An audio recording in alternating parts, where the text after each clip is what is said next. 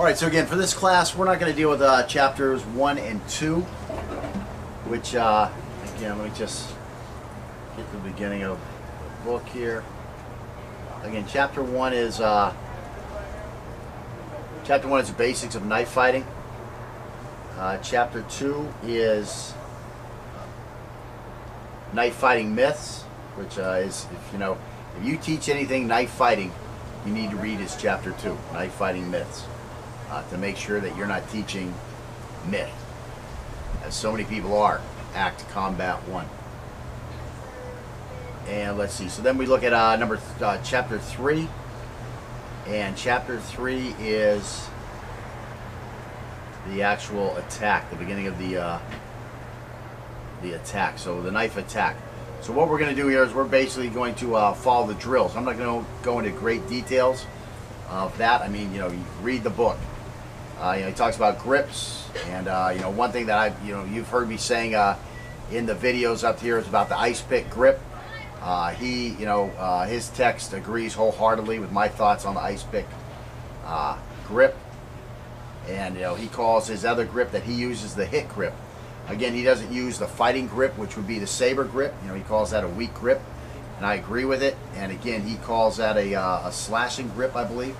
and again, he's not big on slashing. You know, as we see, he's not big on slashing at all. He considers slashing a uh, big waste of time. And again, you know, uh, does he make a good point? Yes, he makes a good point. Again, he's way out over here, and there's then let's say the technique side over here. You know, there are a lot of reasons to use a slash. Uh, and again, he's just totally against slashes. You know, where's the truth? Somewhere in the middle, probably. I mean, slashes definitely have uh, an effective use. Now again, his attack is for an armed guy on an unarmed guy. That's what he's really talking about in this manual. An armed guy against an unarmed guy. again, this attack that he uses, you know, as we'll see in a, a little later, it's it's a pretty easy attack to defend if you have a knife. Okay, that's the first thing. It's pretty easy to attack to defend if you have a knife. And of course, you've built a foundation in your knife fighting skills again, like by following along with this course. Uh, so again, he's talking about this hit grip, and the hit grip is you're just grabbing that knife as tight as you can in what I would call a hammer grip, and then hit on that angle three. And let's see, where do we go from there? Whoops. So from there he talks about a knife fighting stance. From there he talks about knife fighting stance, and again, uh, the knife fighting stance is very similar to the stance that we've already learned in this uh, in this class, except where he does lead with that empty hand a little bit. And he's got the knife back here. Again, because this is such an integral part of his attack, uh, you need this hand out here. We'll look at how he does all that. All right, so the next section that Don goes into is his attack. It's a one-two attack. I mean, you're a boxer, bam, bam, one two attack, right? Works. Uh, Royce Gracie, when he was at the top and he was teaching his seminars, what did he teach? The hand of the face and the two shooting the leg. So again, a one-two attack. I mean, it, it, works in almost everything. Uh, point point sparring, uh, karate. You know, an early technique that you you learn. What is it? The back fist and then coming through, boom, with the side kick. It's a one-two attack. Why do one-two attacks work? Because the first attack diverts the attention, brings everything up towards this defense, and it leaves another area open. So it creates an opening. So that's the big thing with the one-two attack. And that's what Don is going to talk about here, and we'll look at the drills, is this one, and then you're coming with this two. Of course, he's going to be more like in this stance here. This is going to come out here, and there's the two. So again, you get the attention up here, and boom, here comes this knife attack down below, because you've diverted his attention. You've created an opening down low. Uh, he also has a uh, three-step attack where this is when you're, again, you're outside of that contact interval. He has another word for it. I don't remember exactly what it is. Uh, I'm sure uh, 20 people will put a little comment down here, which I'll just remove. Uh, but anyways, uh, you have the fighting interval, which is your contact interval. So if you're outside of the contact interval, then he uses a three-step attack, like we were doing with the empty hand feint, okay?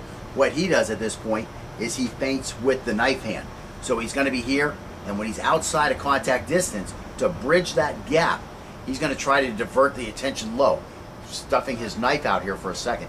Now it's too far to actually reach the guy with, but again, you want to divert his attention down.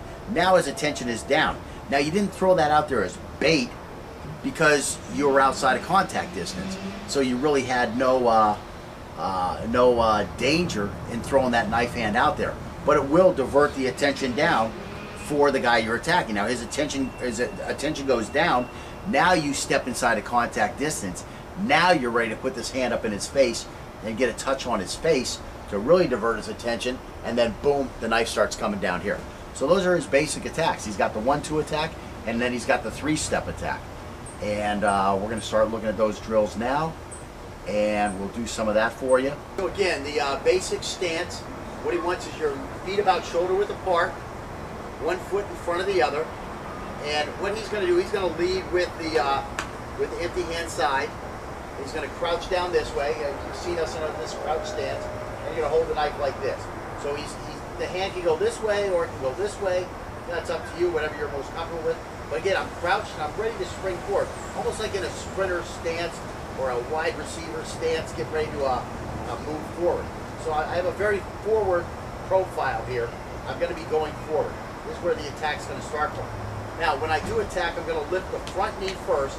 It's going to be a step and drag movement, and I'm just going to put this, shoot this hand out. Now, again, we're going to use all our principles of the knife strike, where we're going to bring all our, our weight forward. You want this strike to hit hard if it hits, okay? You definitely want it to hit hard. So again, I'm going to be here, and I'm going to lean out, hit him right here. He's going to have to react to this. His eyes are going to close. His head is going to go back. His hands are going to come back up. Now, we're both holding a knife right now, but of course, this guy's not holding a knife. I'm attacking a guy who doesn't have a knife. So I'm here, and then from here, I just start coming in here with this one here. Okay? So that's basically it. That's the one-two.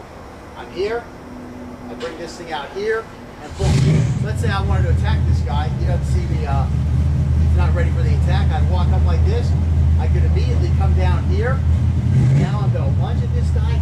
Bam. That's the attack right there. And then this thing just keeps going. That's a basic one, two. So we'll work that on each other a little bit. All right, again, uh, Don talks about using a uh, palm strike. The reason I like the palm strike versus the fist is uh, pretty simple. There's Scotty's body in the background there with my fist kind of just right on his silhouette there. And that's my reach with a fist. And when I go to a palm strike, oh, look at that. All of a sudden, my fingers have extended a couple more inches. I like the fingers in the eye. He says a palm strike like this, but I really think what he's talking about is that extra reach provided by the fingers. I mean, a pure palm strike, again, I have a little problem with that wrist. It doesn't bend all the way it's supposed to because I got wounded. But anyways, uh, that pure palm strike is shorter than the fist, and then the fingers are longer when I'm like this. So I really like this. I like a face rake. Uh, so if you wanted to modify that technique, again, trying to get a finger in his eyes, uh, you know, watch any UFC fight when the fingers go in somebody's eye. Watch a boxing when a thumb goes in the eye. The fighter is virtually uh, completely debilitated and defenseless at that point. So yeah, do you want to get fingers in the eyes? Yes. As a matter of fact, Don says you know, to defend this technique, the first thing you have to try to do is get your fingers in this guy's eye. He says, you know, when a guy comes at you with a technique like this, fingers in the eyes, strike to the groin, strike to the throat. These are things that cause, you know, like strike to the throat, it's going to immediately put you on the defense. Of course, an eye, going to put you on the defense. A shot to the groin, going to get you on the defense. So those, I mean, when I do my hand-to-hand -hand course, I mean, that's really what I talk about. It's eyes, groin, eyes and groin, eyes and groin. So again, now this is different. You're not leading with your knife side. Right, you're here, and go ahead and just know, hold the knife from here, get in that nice low stance. What you're going to do, now see your feet, they're too thin. Get shoulder width, crouch down on the ball of the back foot. Right, now bring that foot back a little bit. You're not the big guy. No, no, back. So put that foot right here. That's yeah, that's what we're talking about. We want you to have that left to right stability. Okay, so this here, just like I'm saying, you're getting ready to start running. You know, just get in a stance where that's what you're really gonna do. Freaking run at me but you're going to start with a, a step and drag, okay? So here I am hanging out. Go ahead, I just want you to start from the full stance. So, you know, here like this. Okay, but we're not doing our normal. Okay. We're doing Don Pentecost attack, okay? Okay, so now get low, get low. Okay, yeah, here's what you want. I mean, do you want to look at the picture again and see? Okay, so this is what we want. This hand is up here in front.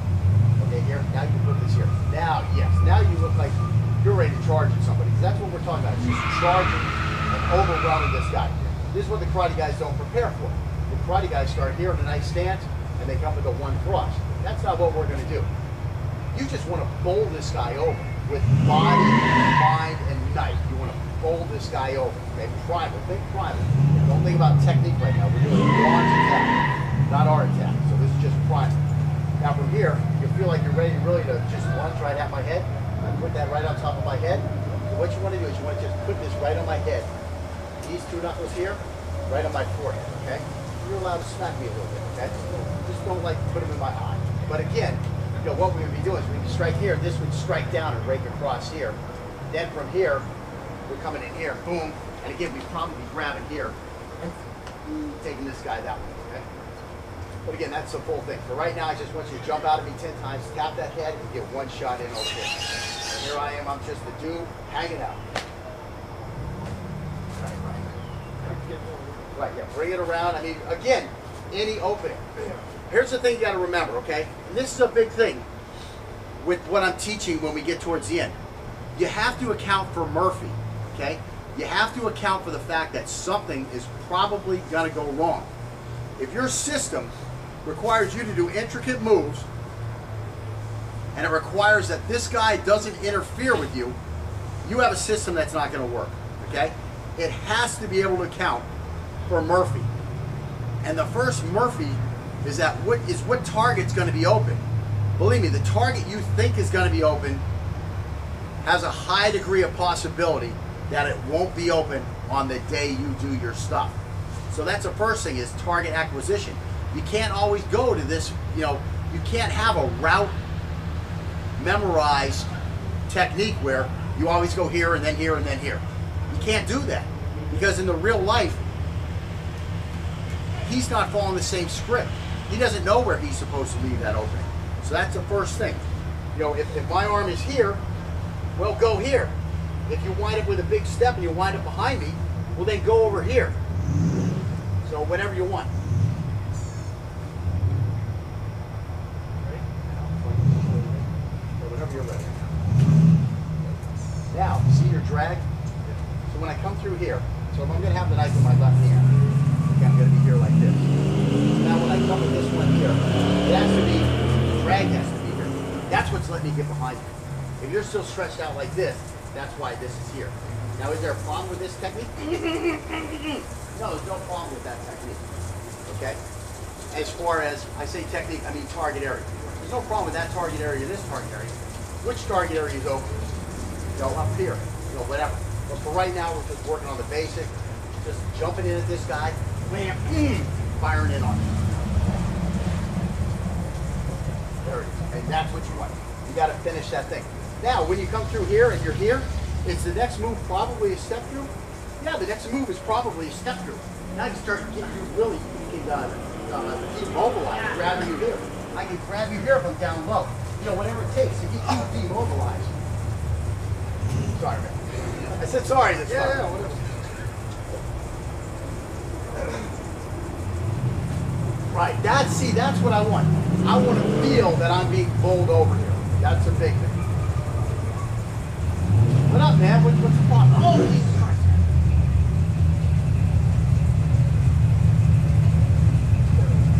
Now it's got to be a one-two. So we're here. See, I'm turning here. I'm putting this shoulder in. I'm trying to protect my head from getting hit. I'm trying to stay low. I'm trying to cover my center line by turning sideways a little bit. Now when I bring this drag through, bam, like that. Okay.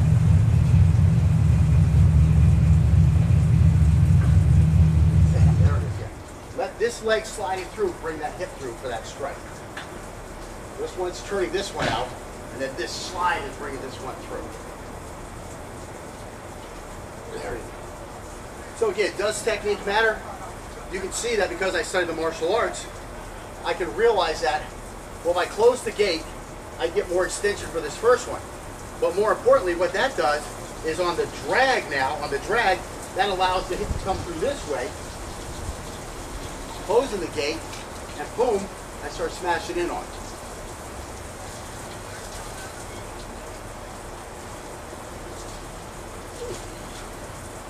So I might say that wrong. Yeah, I'm going to close the gate here, open the gate here, which allows that hip to come through.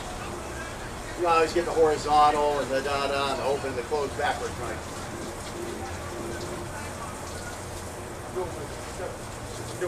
Yeah, you need to do the step and drag first. Bam! Just think of it as a jump.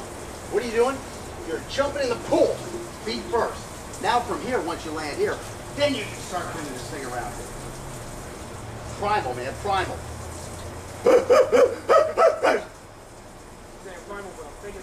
Right, right, that's the hard part. That was good, that was good. That was primal, baby. That was the whole thing coming at me.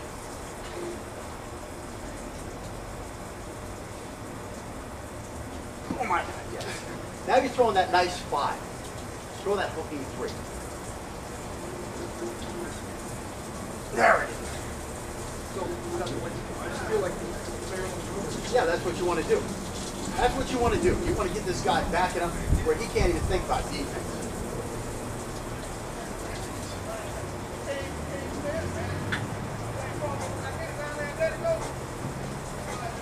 Remember Kelly McCann's swamp, where we want to land on top of this guy with this strike.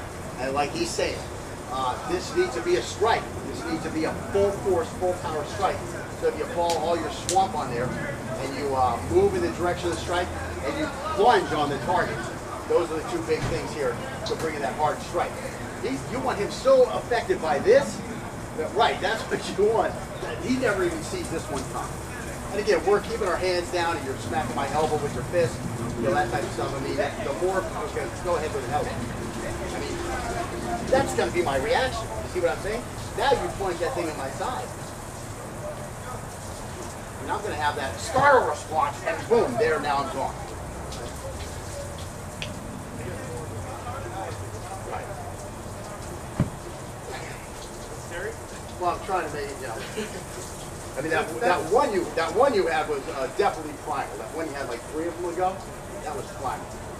You look like when I look when I started. Right, right. Well, that's what I'm trying to do. I'm trying to put the, uh, 'cause, I mean, what I'm going to do is completely different. I mean, whoop, that's what I'm going to do.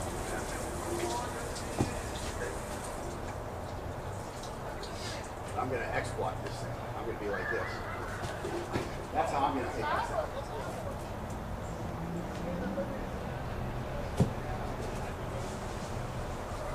X block is coming. Excuse me.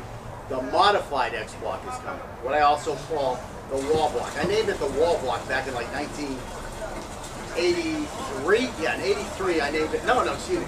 1980. 81 I named it the wall block. And since then I've changed it to the modified X block. But that's coming up in less than a seven or six right now. So we're almost there.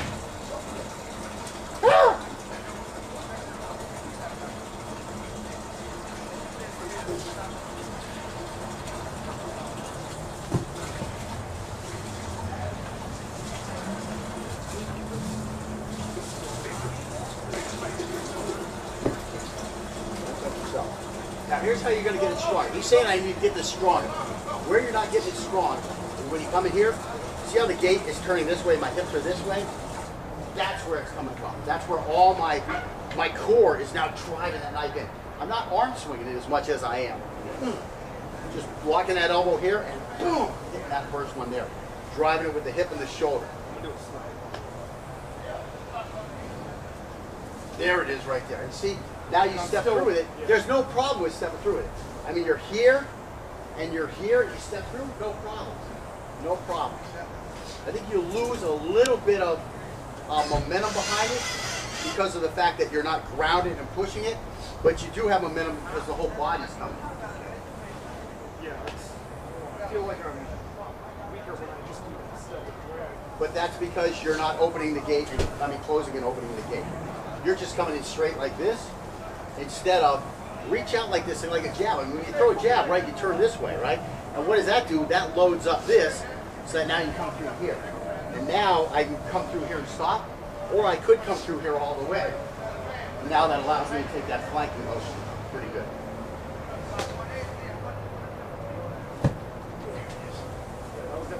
Don't wind it up quite as much. Just let it come here, keep the elbow in contact, and let it stay there. I know sometimes mine flail about a little bit, there it is right there. Now just throw over two steps. Bam, bam. There it is right there. That's going all the way through the liver. Through the liver into the stomach.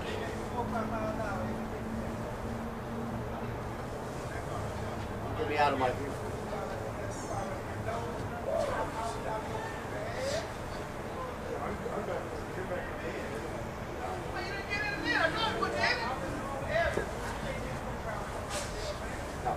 On my head. When you throw that thing. There. See, that gets me knocked out.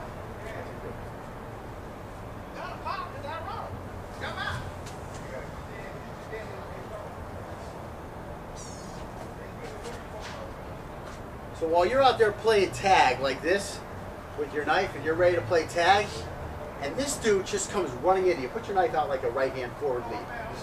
Okay, so this guy's here, so we're gonna play tag. And of course, I'm gonna go back to my other style because that's my other style, uh, the left lead. But I'm gonna have the knife in my right hand, okay? So here I am here. I'm like this. What am I gonna do to this guy?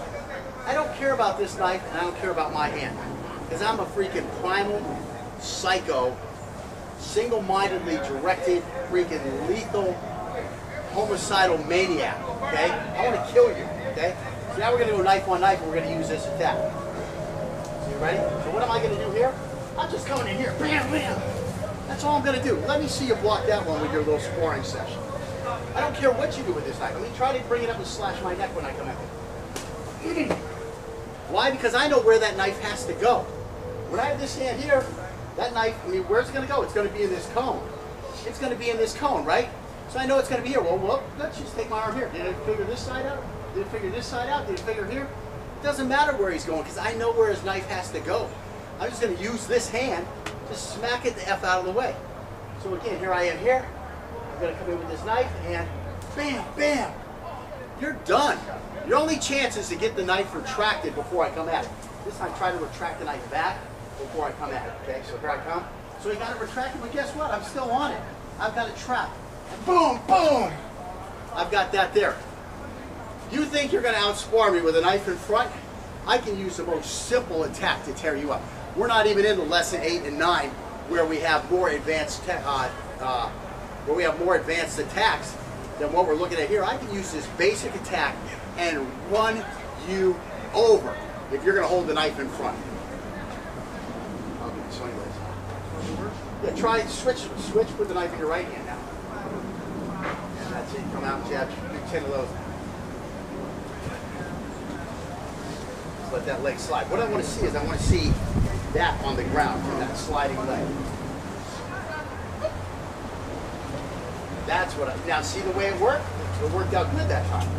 Because you have the proper footwork. So again, proper footwork. Is that a trained-in technique that a martial arts guy could have? Yes, it is. Now, a lot of martial arts guys don't do it exactly like this, and that's too bad. You know, they think you all everything is a step-through movement. No, a lot of it is step and drag, step and drag. Martial artist guys, you traditional martial arts guys, you got to get a step and drag into your system. Again, what does a boxer do in the ring? They step and drag. They step and drag. What does a guy who's shooting the leg? What do they do? They step and drag. What do you do when you're throwing a side kick? That that side kick combo. You come here, and then you kick, and there should be a little drag there as you come across. It's much closer. Unfortunately, it still is kind of like a step through motion. But again, you get these guys, advanced guys like Bill Wallace, they're going to be more like this, where we slide on that leg, so you have a drag. You have a step that's coming up in the air, and then there's a drag as we throw that kick. So much more advanced technique. You got to throw out that old footwork. And you got to bring quicker, modern footwork into your system, you martial arts, you traditional martial artists out there.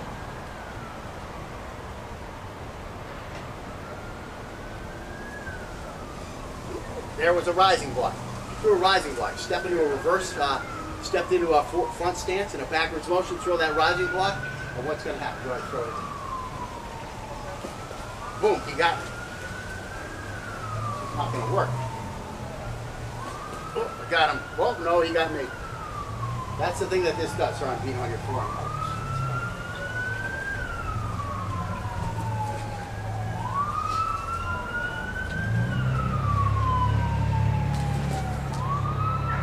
Drag works a little better. It keeps me on that center line going.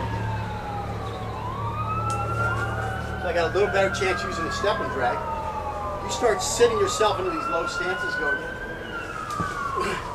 it's just too slow. I'm going to get nailed every time. See, my hand, my reactionary time is not as good. I stand like this though, do that step and drag a lot quicker. Now let's take that step and drag forward to the side, I mean, and for it, you know, it works a lot better. So by far, this modern footwork is better, guys.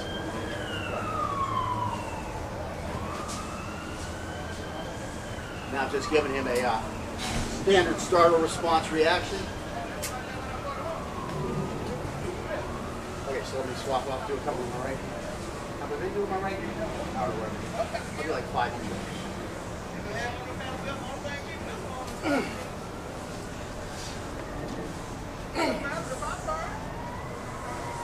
Oh man, what's up, man?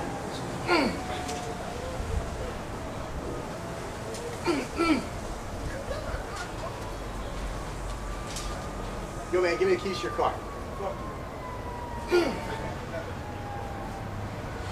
I need your wallet and your keys now. you didn't answer fast enough.